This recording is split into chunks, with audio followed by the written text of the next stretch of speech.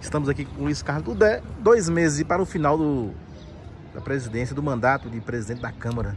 Pautas bombas devem aparecer, orçamento, tudo está preparado para o surgimento dessas pautas aí na Câmara? Graças a Deus, sempre estive. Agora há pouco acabei de receber de Dona Gleide, que é quem nos secretaria lá na presidência, e ela nos mandava justamente as arrumações ali do plenário antigo, onde nós a partir de amanhã vamos fazer as sessões, porque vamos iniciar as obras é, da reforma do plenário Carmen Lúcia, a reforma do conjunto da Câmara. Então amanhã nós já teremos a sessão é, no plenário antigo, lembrando um pouco da memória de Vitória da Conquista, da nossa história, de tudo que aconteceu ali naquele plenário antigo, onde hoje é o memorial.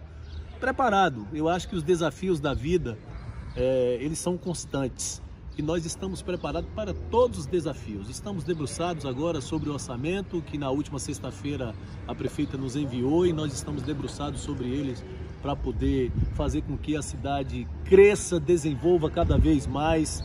Não é? E este é o papel nosso dentro do Legislativo, de todos nós vereadores, e nós estamos debruçados sobre o orçamento é? E é claro, sobre tudo aquilo que a Câmara tem para o desenvolvimento da nossa querida joia do sertão baiano. O segundo blog apurou, outras pautas devem chegar também à Câmara, inclusive pautas polêmicas, né?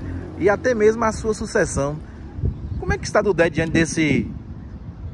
Passa a ser o centro da atenção agora, seus últimos dois meses aqui? Olha, veja, não é o centro da, das atenções, jamais. Todos que me conhecem sabem. Eu não quero ser o centro das atenções, nunca quis ser o centro das atenções. O que nós desenvolvemos dentro da Câmara é um trabalho. Não é? Eu acho que a Câmara de Vereadores de Vitória da Conquista, sobretudo, ela precisa ter juízo neste momento. Eu, lhe confesso, sou favorável a fazermos ali uma mesa mista de uma composição com todos os quadros para que a gente possa, na verdade, trabalhar pela população de Vitória da Conquista. Eu já dizia isso lá atrás, quando me elegi. Eu queria uma mesa mista. E quero sim, e trabalharei por isso, para fazer uma mesa mista, onde todos os partidos possam estar envolvidos nas comissões, na mesa diretora, para que a gente possa fazer mais e melhor para o Vitória. O blog já noticiou um possível apoio a Hermínio Oliveira. Tudo ela tem candidato? Veja, eu acho que as conversas elas começam a ter a todo vapor, não é?